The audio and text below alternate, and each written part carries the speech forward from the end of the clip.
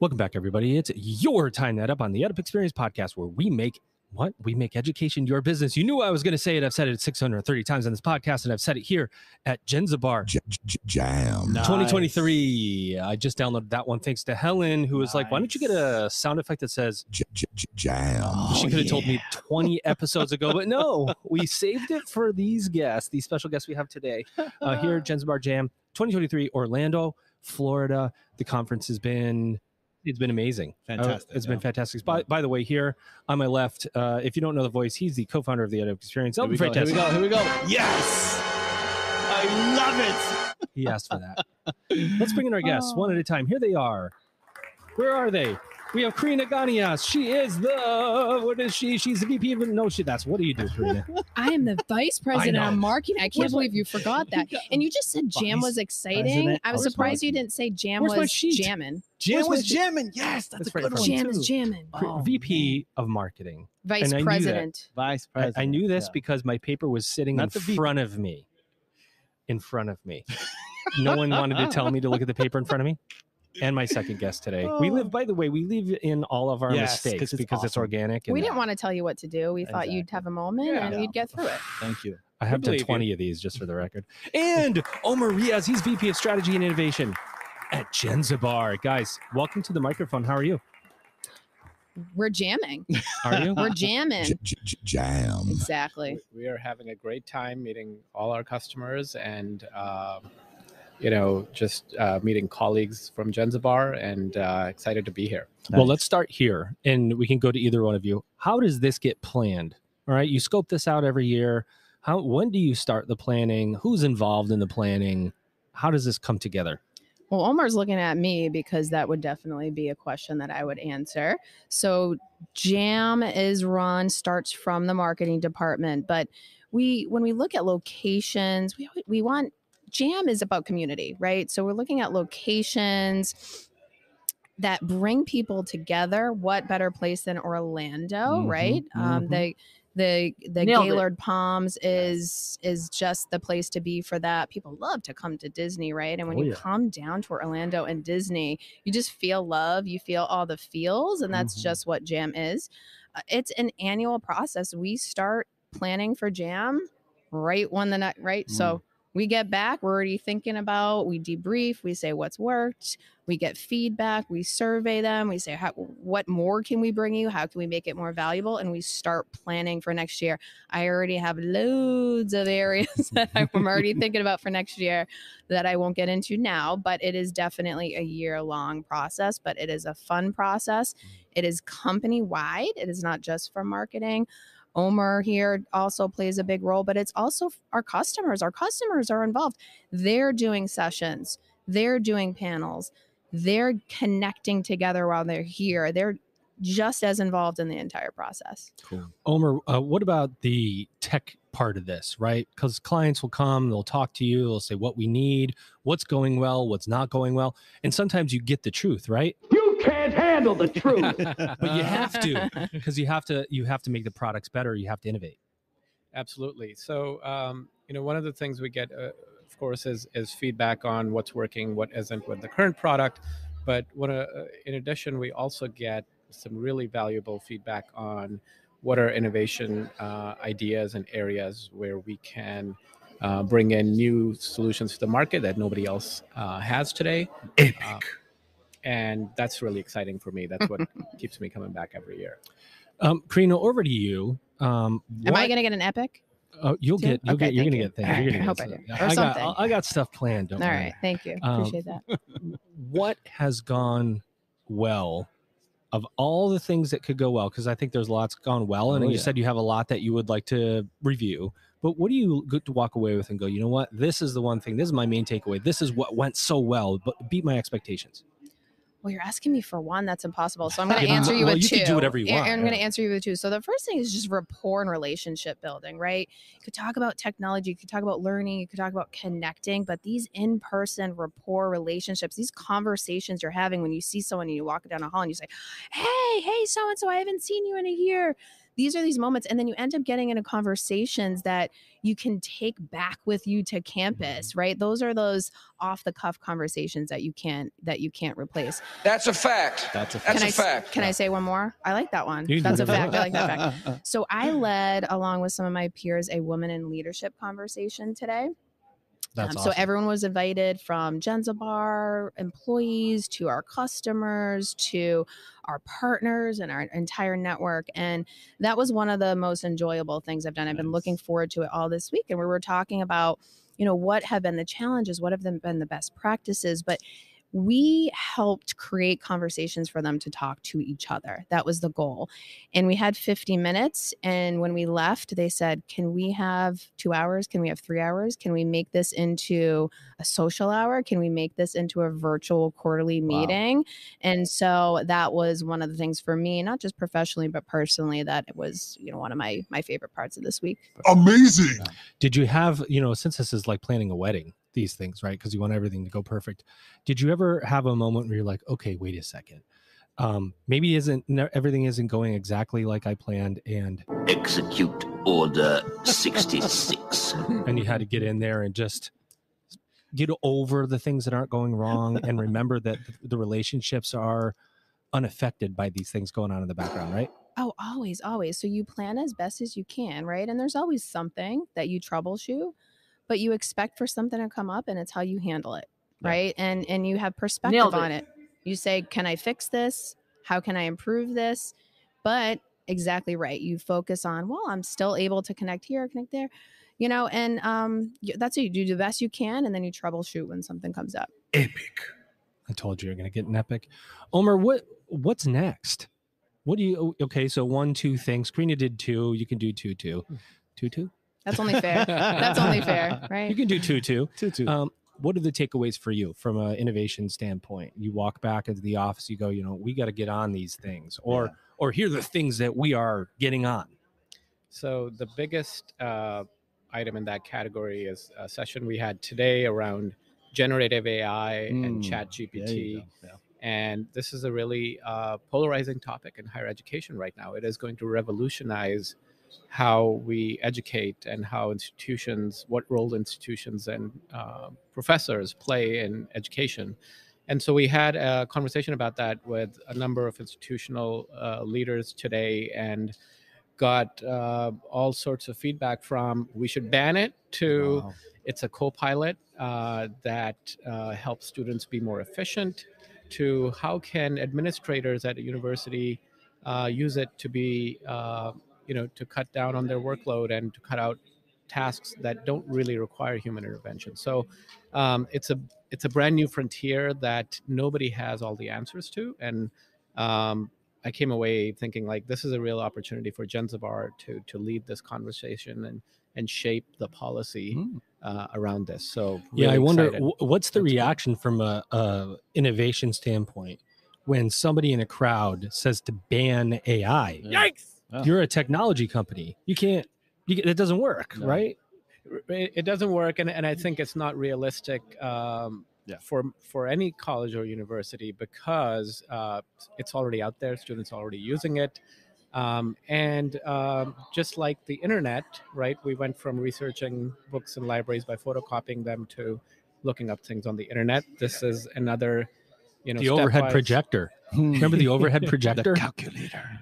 Look at the screen, everybody. Right? I Mhm. mean, the calculator. I mean, the cell phone with a calculator. yeah, yeah. right? You Uh, can't. You uh, can't stop. absolutely and and it, you know we're at the cusp of this major change which is going to not only change how we learn but what we learn what jobs will be in demand in the future so many of those jobs don't even exist Yeah. today right so um I- I think it would be a mistake to to write it off or try to ban it or or um, not have your students use it. Live in the now. You got to accept technology that's in front of you, right? Speaking of accepting things and moving them forward, Carina, you, you're VP of marketing. You've got to put the message out about Jenzabar. One thing that I know from all the interviews that I did, by the way, thank you for bringing us here Yes, and allowing us you. to Of have course, these thank you for coming. Awesome. Um, one of the things, and Elvin and I were talking, one of the most significant things for us was be able to talk to some of the leaders at very small institutions, religiously affiliated, tribal colleges. Mhm. Amazing. Who's Right. interviewing these people? Well, nobody really gets to interview these people. They don't give everybody a chance. You know, you look at podcasts or articles, you know, you get the same people kind Oh, of saying yeah. the same things Mhm. over and over. And then you get somebody on who comes and brings a new perspective. We are per, we were just feel very lucky to be able to have those perspectives. How do you take that 240 clients over 25 year loyalty and push that out to people who are looking for new technology partners? Right, that's a big big goal. Yeah. I'm going to answer that a, a few ways. Again, I'm going to go a couple couple routes. here. So you touched upon something. Oftentimes, when we talk about higher ed- education, right, and in the industry, a lot of times people talk about it from a national perspective, right? When you talk to some of these schools that are very localized, they have a very specific student body, potential students that they're, looking to recruit.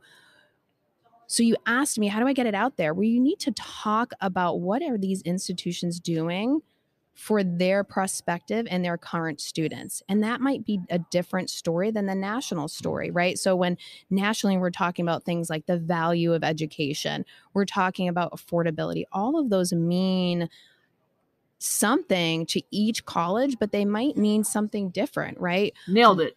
So each each story, getting their story out and saying, what are you doing? What are the outcomes? And how are you moving the needle to your student body, whether that be locally, regionally, or nationally, or internationally?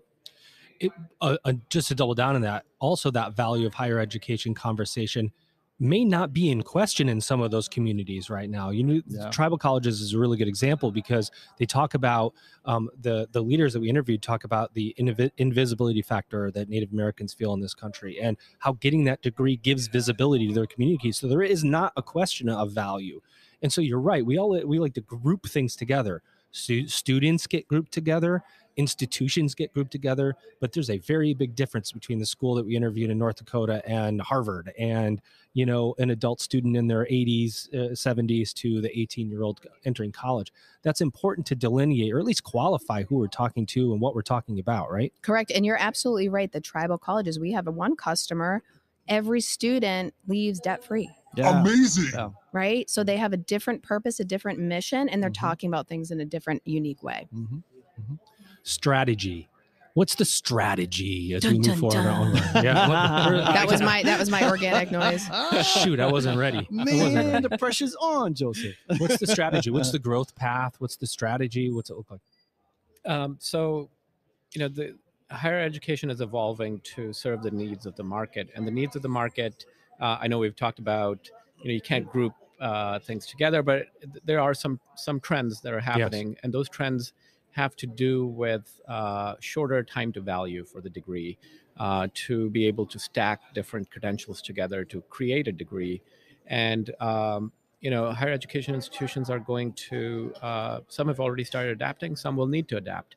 And so our strategy is to be the leader helping them uh, adapt, provide a playbook and the technology uh, and the change management tools to be able to move towards that future and to continue to serve their students where they are at.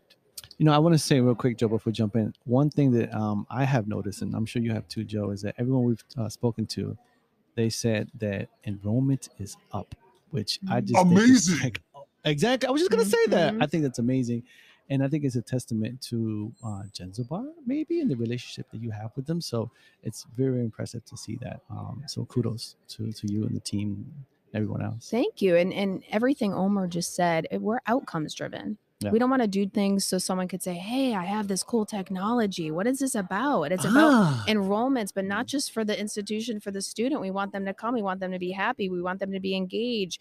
We want their mental health to be strong. We want them to graduate, but then we want them to be successful for their job. So when we're working strategically with our customers, it's all about outcomes. Yeah. Omer, uh, over to you.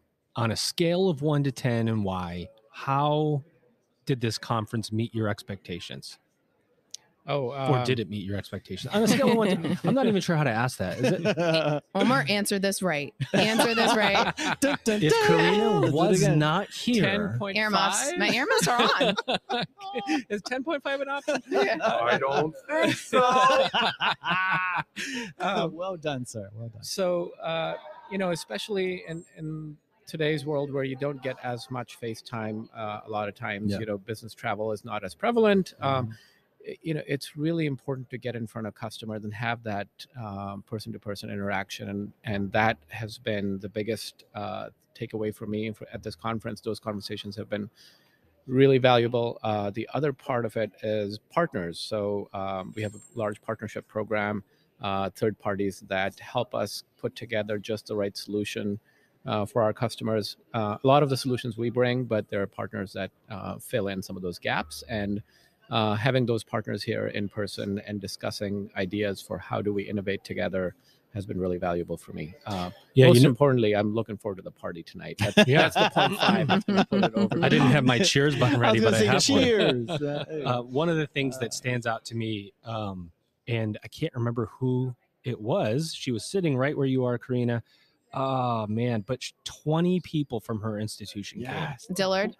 No, No, it was a different one. Yes, that was amazing. She 20 brought people. 20 from the institution. And I'm going schools i've That's worked in higher ed for like 22 years schools don't send 20 people to One uh, conference, a yeah. conference why because cost two because you're worried your employees might leave so i'm thinking to myself for that institution to invest in 20 people the confidence they have in the relationship with Genzabar is just i mean it's out of this world because they're doubling tripling quadrupling down on on people visiting here i've never heard of an institution send 20 people to Never. a no conference what does that mean to you I'll I'll take that. So it does. It means once again the importance of the relationship and the rapport. But what it also means is higher ed becoming less siloed, right? So Mm. these are 20 coming from across their institution. This isn't just an Jam is not an IT conference. It's a conference for everyone across the institution, whether they're in IT, enrollment, business office, financial aid, HR,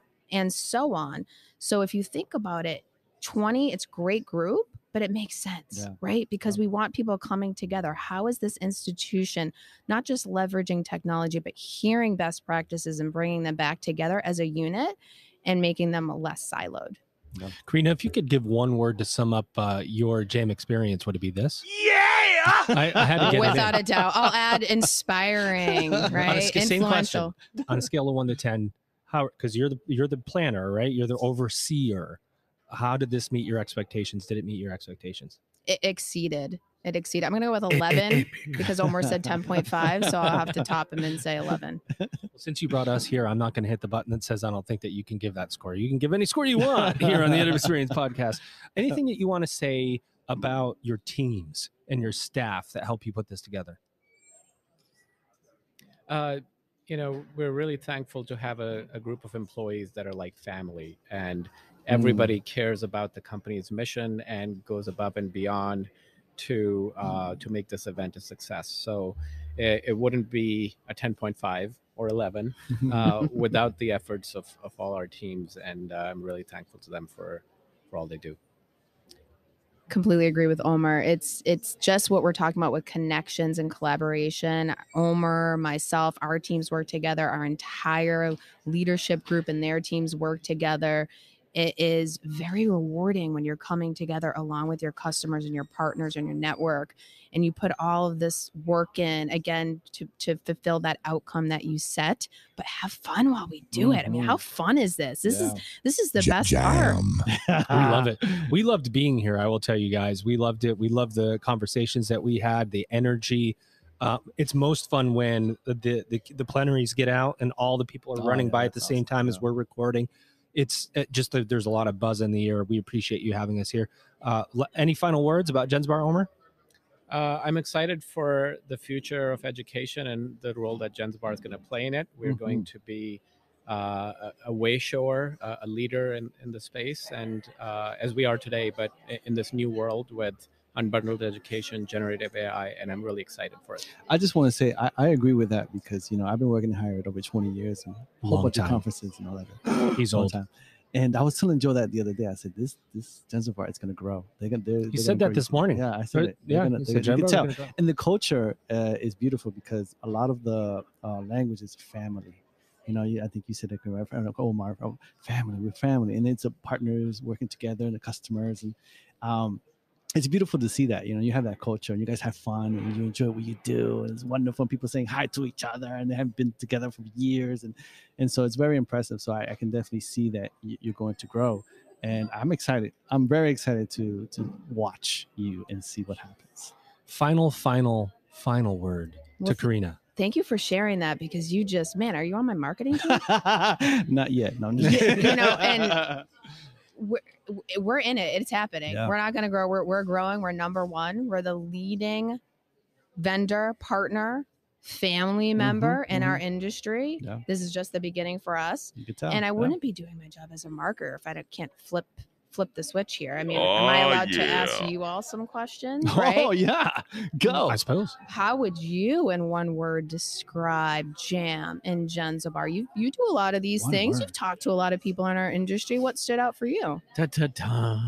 You know what? I, I'll go first. I think that one word, because I've heard it over and over again, is, is family. I and I'm I'm just coming here for the first time, and I'm, I'm experiencing this. I'm, I'm meeting so many people from Jenzabar, and then so many people from the different schools. The tribal schools are amazing. The stories were just amazing. It's so fantastic to hear these stories, and I've learned so much too from listening to the podcast. And so, uh, this sense of family and camaraderie between Jenzabar people and then uh, between Jenzabar and their partners and uh, clients, customers. And so I, I think the one word would be family. I, I'm really uh, uh, very happy that you have that part of your, as part of your culture. So that's very cool. Thank you. That that that means a lot. We're proud of that, and and that's definitely us. For me, I, I would say enlightening. Enlightening for a couple of reasons. One, in, in Jeff uh, Elliott was a co-host a couple of times, and he gave those stats: 240 partners over 25 Yes. years or more, and I think 40 over 30 years, or I, I don't know. I don't remember the exact stats. but- Forty-two over forty. yeah it's like mind blowing when you think about that it's enlightening no i would say the greater higher ed community doesn't know those things and when you when, it, when you put that into context the first thing i thought is why can't i have that relationship Mhm. honestly Yeah. when you think about that from an institutional standpoint what that says about the longevity about the innovation of the organization its sustainability i mean there's just a lot there to get to 25 years because higher ed shops every couple of years you shop sis's you shop crms and if you keep going back to the same one boy doesn't that tell a story that needs to be told uh, because typically i mean migrations are really hard but Mhm. you pull the plug when something's not working. So if it is working and you, it has the ability to continue to grow, because you can't be with a stale system, then I mean it just says a lot about the community and the people. Of course, everybody we met was outstanding uh, by far. And Helen over here organized us to a T. She Mhm. had us rocking and rolling the whole time. We hope we delivered for you here, uh, you guys. We it was an absolute pleasure to be here. I feel like I am on the receiving end now. She turned it around. Now I don't know There what to go. say. I threw you I had to off. be I the threw you off. That was my goal. I had to be the host. Dun, dun, dun. Well, we appreciate you. Um, I don't think I gave you the final, final, final word. I think you turned it back on me. But last word goes to you, Carina. yes. Thank you for being here. This is exciting. Again, I'll leave you with community, family, mission of higher education. That's why we do what we do. Ladies and gentlemen, you can check out Jenzabar anytime, anywhere. They are not hard to find. There are lots of happy, happy people using this system. I know because I talked about 1,500 of them or so as they walked by. Here are our guests. I'm going to get it right this time. Ladies and gentlemen, Carina Gania, she's VP of Marketing, and Omer Riaz, VP of Strategy and Innovation at Jenzabar. Jam. Did you guys have a good time in the podcast I had so much fun. Loved it. Ladies and gentlemen, you've just Ed ed up